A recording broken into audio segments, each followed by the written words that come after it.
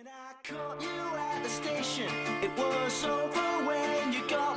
are just heading off to do a little bit more log splitting uh, with a fallen tree over there. Uh, this was actually really nice grass. Last year, fresh seeded grass.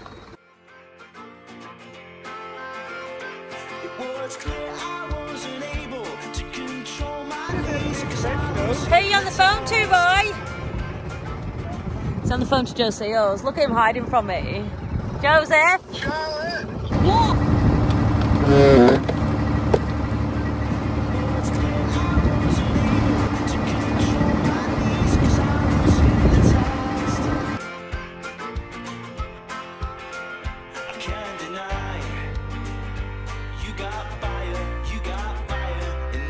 Eyes. Just gonna go for some tea.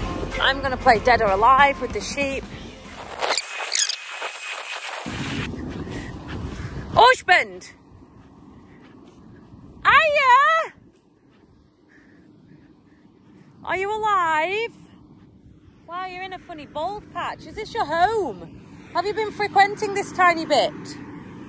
This is really strange. Why is there a bald patch in the field? Earlier today, I had a surprise phone call from a lady, a lady called Nirvana um, from Mayo Mattresses. Now, uh, Nirvana doesn't necessarily watch my videos, but has watched some latter ones when I was talking about shavings on the beds.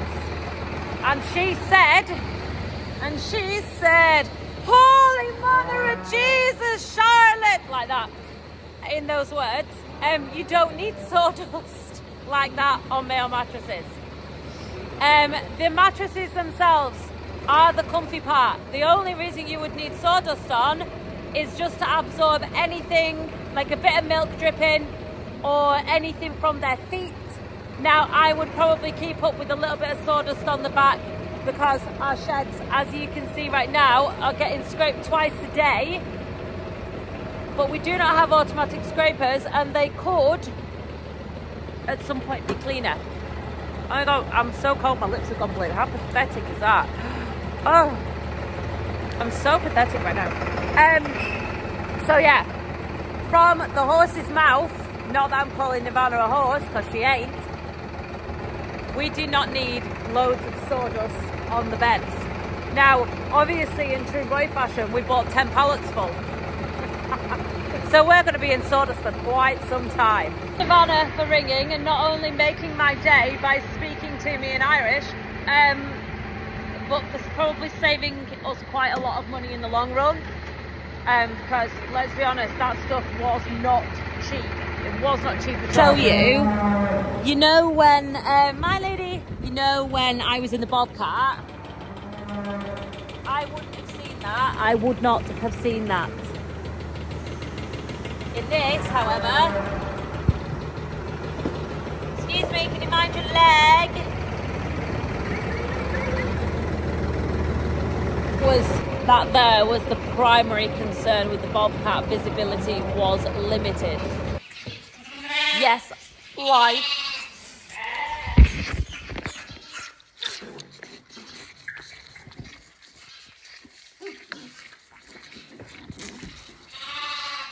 Go on, get back on your own. Cracked it. Got a bit of off my face. Alright, what are you doing, you nosy thing? This is one of the reasons why I can understand why people don't like them in twos. Like, needs must, because we're, you know, we have to, but... Like, look at that one there on its own, just chilling.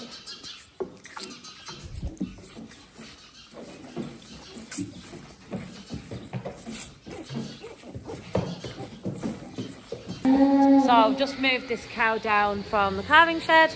Uh, she's the one that had had twins. There is a possibility I need to set up and just press like find the teats, but there's a possibility I might not need to. She won't give a lot of milk.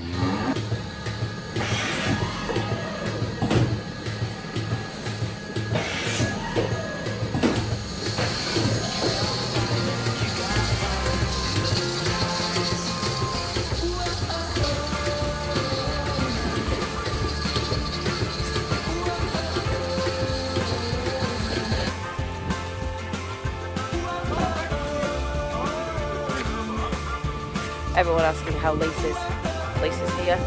Absolutely fine. She's doing really, really well. Um, uh, what was water and, and blood turned then into proper mastitis like lumpy, horrible blood, and then it turned into um, proper mastitis like lumpy, horrible milk, and now it's turning back sort of very milky but still lumpy. Now, I don't know if she'll get that quarterback. I haven't got a clue. She was close to drying off anyway, so we've just dried her off a little bit early and she can just stay outside.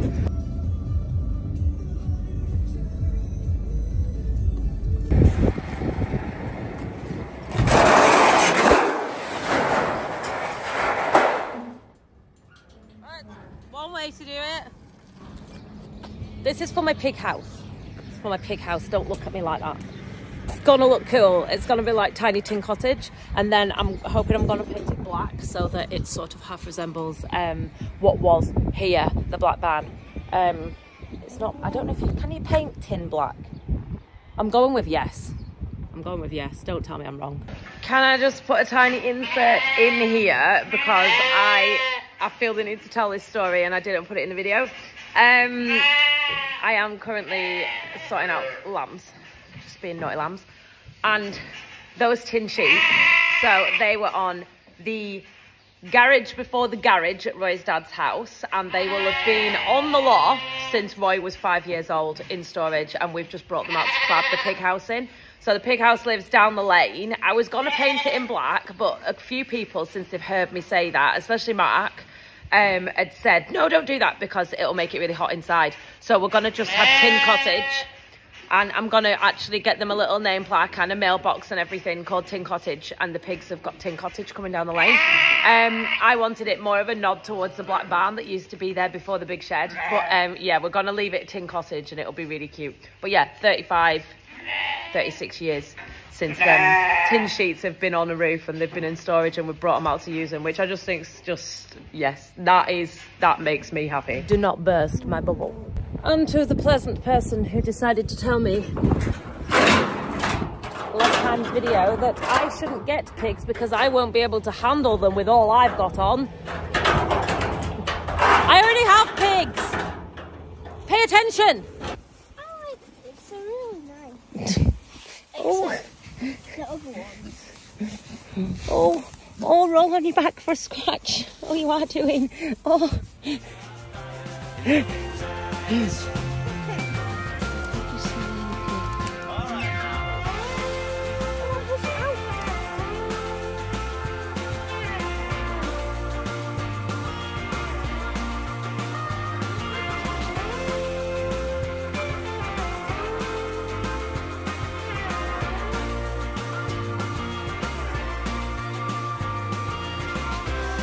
Okay, so we are mowing. Carl's mowing. Let's put that right. there ain't no way we are mowing. Carl is mowing. Um, somewhere along here, I grabbed hold of a piece of barbed wire when I was chasing that cow that had escaped from next door. Um, luckily, the sheep have just broken in and trampled a bit of the undergrowth so I can see a little bit better. I just need to find it because I don't want Carl to mow over it. Uh, the fields look messy all of a sudden. All of a sudden. I thought it was round here. And, oh, yeah, first couple of years when we came to Laitha, we religiously reseeded a couple of fields a year. Um, just, honest to God, you could take these to common riding. Just to keep the ground fresh um, and it worked really well for us. And then obviously we, we got on other projects and to be perfectly honest, time and money was spent elsewhere. Building a giant shed, silage pits, stewardship, all that kind of thing. And we definitely took our eye off the ball with regards to the actual soil itself and the ground. Um, not really a very clever thing to do, but it was unavoidable in the situation that we were in. So now, big shed is up and running. Cows are here milking. We have monthly income, which is crazy. We can now start to concentrate on a little bit of the ground again. Now, I'm not saying we're going to have a mass overhaul of the farm, but we will be reseeding a couple of fields a year. Now, someone said the other day, don't, don't reseed that, don't um, plough that field out at this time of year because you'll have a dry summer and nothing will grow. Um, I will leave that to the guys who do that work, the contractors that we use. They've always been really good with us, so we'll leave that to them. We'll not make those decisions ourselves because I'm not experienced enough to do so. And as well, remember, we historically have been used to making a lot of round bales, literally over a thousand round bales a year we were making at one point. Then we put silage pits up. So we are still, still very inexperienced in that area. Um, we used to make a lot of hay. Funnily enough, this month every year, when the Appleby Horse Fair was on, we were mowing grass, we were making hay, and we were making silage bales and things like that. Um, it is in fact Sunday now, and the horse fair is on. I could think of nothing worse than going into Appleby right now. Um, I don't know why anyone would want to. It is carnage, carnage on every level, carnage, um, traffic, carnage people, just absolute carnage all throughout. And it's just become some dodgy tourist attraction mingled up with the wrong sort of people tagging onto the horse fair and breaking the law. It's just not a place that you'd want to be right now. Um, Appleby is a tiny town that we live in and we respect and we love and we have lived in the middle of Appleby and also worked in the middle of Appleby. We had the garage in the middle of Appleby. Um, and when people say, oh, but you make money, trust me, when I say this, no money is made on Fair Week from things like garages, etc. Because all of the normal, you know, farmers' wives and whatnot from the rural community that would come in and spend 200 quid topping the petrol cans up and stuff, they go elsewhere and instead you are just faced with a stream of 4x4s coming to put a fiver in uh, one after the other just so that they could use you for parking for well i'd like to say five minutes but it's not. It's probably a half an hour queuing co-op isn't it? And all they do is nip next door historically obviously the co-op is just there now instead of the garage. Nip next door use you for parking and then it was just a very very slow stressful day. Very very slow and stressful. So yeah. Historically though we made crop that time of year um but no more because we have silage pits to fill and it's a different thing. But funnily enough we're coming back round to it. We are mowing today. Um i think carl is i think he's a bit busy and then he's coming after he's finished doing what he's doing. So this is a bonus field that we weren't going to be silaging. It's normally first field grazing ground but obviously the cows aren't outside as many of you have noticed so we are silaging it. But we're being very careful because it is not silage ground. It's bumpy grazing ground that's never been reseeded in a million years. Um so we're staying away from all of the edges and doing things very carefully so Carl doesn't get cross at me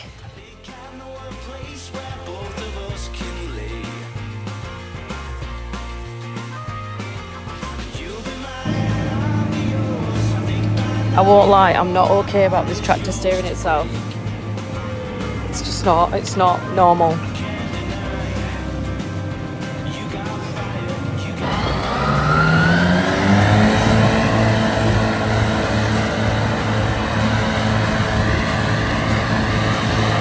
So Carl's mowing. Um, I'm just gonna go up and Roy is making tea because he's a a good husband. Um, I'm just these bottom fields. I was just going around the edges with Carl. Um, I'm just staying out a little bit of the ones that we don't usually um, silage. But yeah, it seems to be. To be fair, it seems to be some grass on. But it has been. It's been wet. It's been warm, and yeah, it looks all right. To be fair, I'm not panicking about the amount of grass that's on already. And these are the these are the lesser fields. To be fair, the ones down the river will be great because they're fresher seeds. That looks like a really big field to walk up now, doesn't it? I wish I'd have uh, maybe hopped out at the top of that hill. and FYI for anyone wondering, buttercups have no nutritional value for livestock. They are pointless in a field. So, you know, when I said there's glass on down the river here, I'm not even going to do anything fancy. It's actually quite scary. It's,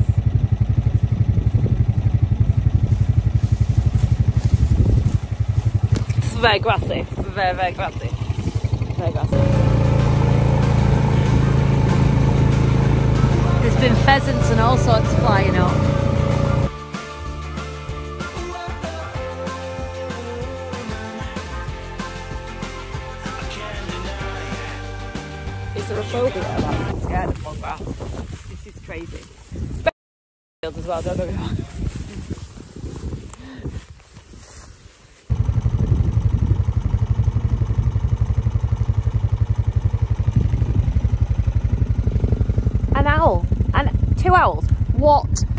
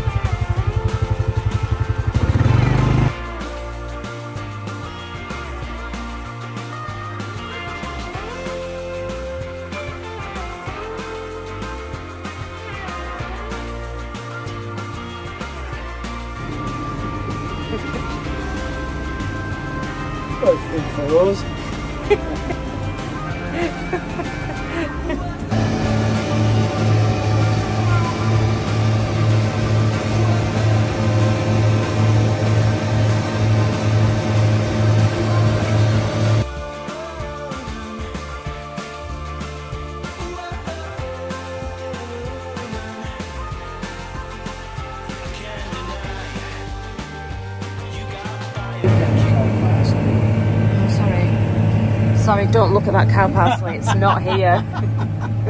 don't look over there either. Got flowers in the silage. That's lovely. A big, a big daisy. Dead regenerative me. All sorts in here. Our grass is longer than your grass. no, but it's a competition, maybe. I'm very bumpy here.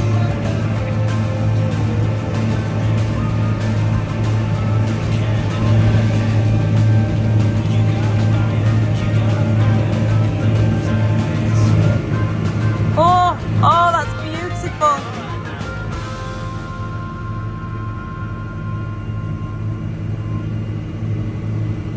Just lovely. That's just lovely. Carl refuses to put his lights on because he's not being the first to give in when there's someone next door mowing. But I said he doesn't need to. We're far superior. Look at all this grass. Oh, he's racing us now. Quick, go faster, go faster. I think we won. I think we won. That, that leg. Quick, turn around faster, turn around faster. No, he's making away, he's getting away. Go, go, go. Oh, if he turns around any faster, he'll throw that thing over. Carl's got a new tractor, so his lights are going to be way brighter than those lights. Dazzle him, blind him. it's actually dark. I can't see him, he's blended into the trees. That, I'm sure that was a spot of rain on the window there.